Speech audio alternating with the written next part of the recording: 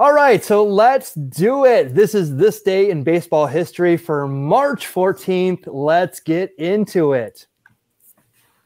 March 14th, 1954, Hank Aaron filling in for Bobby Thomson, who broke his ankle the day before, starts his first game wearing a Braves uniform.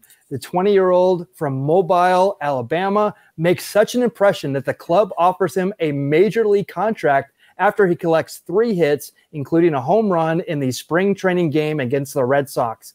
Now, we, this is kind of interesting because uh, in our World Baseball Classic uh, mm-hmm. talk, there was actually a pitcher who struck out like Juan Soto and a couple other high prominent pitchers actually got a contract uh, through that. So yeah, someone um, on the uh, Nicaragua team, he got signed by the Tigers. That there you go. So uh, it happens, it, and, it happened in '54 for Hank Aaron, and yeah. who knows that that guy could have a long career. But that, well, I, I mean, I might have known something happened to Mr. Thomson. I, I mean, we're we're past that. I'm I'm okay to say that now, right? yes, yes, it's a safe space, Kevin. You, you can okay. go for it. I mean, I'm just saying, you know, I, I didn't kill the guy. I mean, I didn't do anything. Sorry, too soon. Kevin. wow. We're live, pal. We're live, pal. 100, 150 episodes. That's okay. That's it's rating. We're not making 151 if I keep making up crimes like this. That's okay. That's uh definitely ratings, ratings, ratings. Um March 14th, 1993, oh, no. the Reds announced uh, the uh, actually the Reds announced Reds president Marge Schott's St. Bernard is being prohibited access to the Riverfront Stadium field for the season.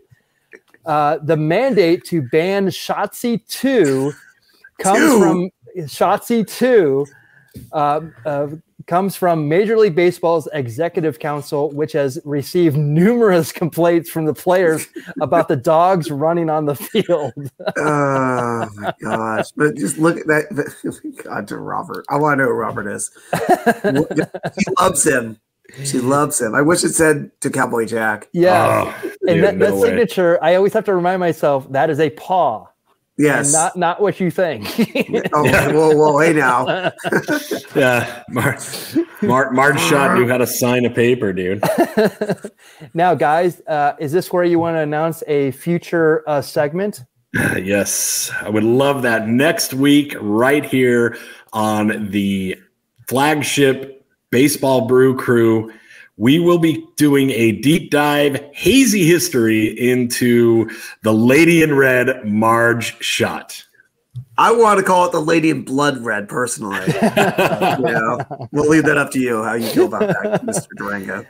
Uh, it's all smoke and mirrors. Uh, yeah, more smoke than mirrors, but uh, yeah, a lot of smoke. A lot, a lot of, broken, of smoke. A lot of broken lot mirrors of too. Yep, broken.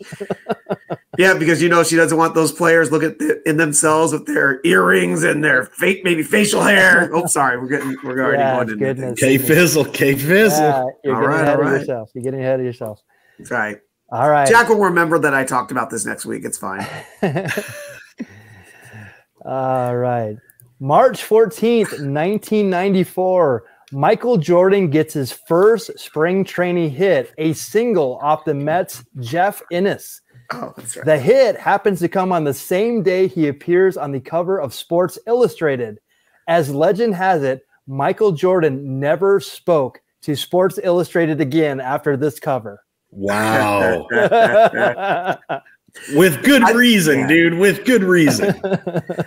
I, my face lit up because I was thinking it was going to be something else. But uh, if you go through our archives, we actually talked to Oakland Athletics pitching coach, current pitching coach uh, Scott Emerson, and he actually gave up Michael's first hit, but it was in an exhibition game. Yes. And uh, oh, if you wow. go through, if you look through and find that interview, he does talk about facing Michael Jordan. Yes. Yeah. So yeah, I thought this was this was a good one, and uh, yeah, it was. Uh, it was I, guy. I can't believe that this was 30 years ago. Hey, uh, uh, can I say something to Michael Jordan? Yeah. I mean, come on. Exactly. Come exactly. On. Yeah. March 14th, 2003, baseball suspends Montreal outfielder Vladimir Guerrero Sr. for three regular season games and Marlins starter Brad Penny after uh, for five after igniting an ex- an exhibition game bench clearing brawl earlier in the week. Can Love you it. imagine getting like a, a brawl in spring training? Well, I dude, I think that's the appropriate time. That way, you know, you're not you're not bringing drama into the main season, dude. Just get it out of the way, dude. Get it out of the way. Yes. Oh my it- gosh. it seems to reason that that this kind of stems back to something that that was uh, a, a previous thing, and and that happens a lot. And and uh, actually, this kind of leads into something that we'll talk about uh, later in the episode. But uh, but it, baseball things seem to linger. Remember, um, Well, we we talked talked about, about- Ryan Ventura. You know, Ryan- they, they, I mean, it wasn't Robin Ventura, but it was just the, the, the team having a grudge against Nolan, you know, for Well, getting uh, that Graybeck. Graybeck? Is that his name? Yeah, Yes. remember? yeah, Yes, and, Griebeck. and and uh, Griebeck. you know we we talked about um, when Bob Gibson. Uh, and Pete LaCock, uh, like he, he, he, he beamed him in like an old timers game. Like uh, he says, like you don't you don't you don't hit a home run off me. Nope. Yeah. Oh, uh, okay, Ian. Thank you for uh, bringing this up. So the Montreal. I wish I could. I, I wish I could show this. It's actually an M. If you look at it, it looks like ELB, and uh, but it's actually an M. So it's a three color M, and it's the Montreal. Uh, so the one on the helmet is the one I'm talking about. Right.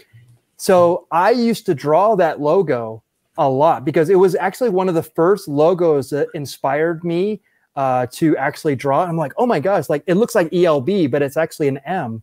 And so I used to hand draw that as a kid, and it actually started my my passion for branding and logos. And I used to draw uh, logos. And actually, when I was, uh, I would say like 12 or 13, I used to sell hand drawn logos in a baseball card store so I could buy baseball cards.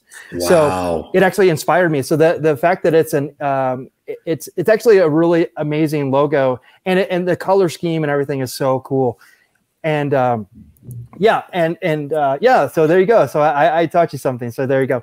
And uh, So- so yeah, yeah, this whole empire, dude, the the crown jewel of craft beer and baseball. This podcast can be traced all the way back to the Montreal Expos logo.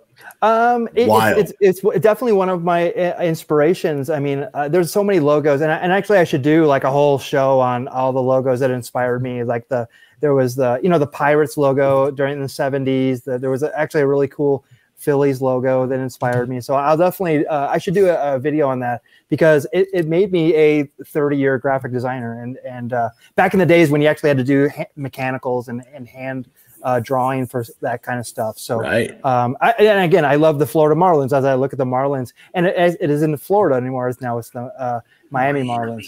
So um, yeah, so thank you so much for that for for making mention of that. So you got the opposite of the Montreal screw job out of this. That's good. I don't know. I, it, it's uh, graphic design is is uh, e- each year is a cr- screw job. You have to find your your way within it. You definitely have to reinvent yourself. And Cowboy Jack, I got to ask. It looks like Brad Penny's been in quite a few fist fisticuffs over the years. Did you ever? Were you one of his? Uh, did you get into a bar and brawl with this guy? Looks like you would have. I, I- quite possibly. Uh, there's there's periods of my life that are quite hazy, as it were. So uh, there's a good chance that me and old road dog Jesse James over there tangled up, man. I might have chewed some of the same dirt. Awesome. Oh yeah, no that that guy definitely definitely believes in corporal punishment for his children. Like if I that's the first thing that comes to mind is like, yeah, dude, he, he, his kids have a paddle with their initials like embroidered into Well, it, dude. yes. Well, as a mandated reporter, I hope that I, I hope that's speculation on your part, sir. Yes. Yes. I have a feeling you're not going to take away his guns. yes, dude. Yes. Yeah, dude, he's very passionate about my rights, dude. well, moving on. Um, well, get your beers ready for this next story. That's right. March 14th, 2003, Bob Uecker, the Brewers TV radio play by play announcer, is chosen for induction into the Broadcasters Wing of the Hall of Fame, the recipient of the Ford C. Frick Award. The 68 year old former backup catcher a member of Milwaukee's broadcast crew since 1971, is best known for his humor he has brought to the game through his starring role in cult movie, uh, well, a documentary, as Cowboy Jack says, Major League, and multiple Miller Lite beer commercials. So, salute to uh, Bob Uecker. Wait, dude, drink uh, one down for a real one, man. Nobody realer than Bob friggin' Uecker. Um, Michael. Yes, sir. I thought that's the dad from Mr. Belvedere. he, um, he had he was in baseball. yes, he had a he had a very short, short brief stint, career. dude. He had, he had a cup of coffee in baseball, brother. oh, okay, all right. Yes, dude. Um, what just like young looking and vibrant and handsome, like Bob Uecker uh, didn't do too great in the field, and so he still had such a passion for baseball. He still made a career out of baseball. Yeah. You know what I mean? And and he's still going. You said he was sixty eight then. Yeah. In in 2000, so he's 88 and still going. Man, yeah. he, he yeah. you know what? He'll get he might get to my age someday. Well, and, and, and this will be what his 53rd year, second year, something like that. 53rd yeah. year, yeah. Something yeah, like that's that. crazy with the Brewers. I mean, like again, uh, uh, definitely a, a, Brewer legend, uh, yes. to say the least. Dude, and, the uh, man's a nat. He should be a nat. Like, why haven't we recognized him as a national treasure yet? Yeah, uh, he's there. Isn't he? In, did he, he didn't make it in? no, I mean, that, like I'm talking nationwide, oh, not just talking about diamond icon. I'm like, isn't he a diamond icon? Yeah, no, a Nash. This guy is. He should like. You should go see the Grand Canyon, the I the Statue of Liberty, whatever, yes, and yes. Bob friggin' Uecker. There you like, go. That's number one on my list. Well, Jack, if you go back into the archives, I actually did two videos on uh, Milwaukee, and literally, if you go what the way that Uecker's facing, which mm-hmm. is away from the field, if you go straight up, there's actually a statue at the very top of the stadium behind a post. Uh, uh, that that actually you can if you sit in the seat next to him, you can't see around this post, and it actually it's dedicated to Bob Uecker. Yeah. So wow. and that's like you, I think you make a donation to charity, you can get a photo with the statue. Yep. Because because I mean, if nowadays people might not know what the commercials. It's mocking a commercial where he's he was coming down and he's like, "Oh, I got a ticket in the front row," and um, you know, it's like, "Hey, buddy, come on, you got to come with me." Oh, that's what it was. He sat down. The yeah. was like, "Come on, I come with me." In the front row. And then you look and he's at the very top. Yeah, very top of the stadium. Yeah. Going, wow. he missed the tag. He yeah, missed the tag. yeah, it's fantastic. Uh, definitely one of those things you should you definitely find that on YouTube easily if you've never yeah, seen it. Definitely sure, a classic sure. commercial from like I want to say 84, 85, something like that. Yeah, yeah. All right, so let's end with this one.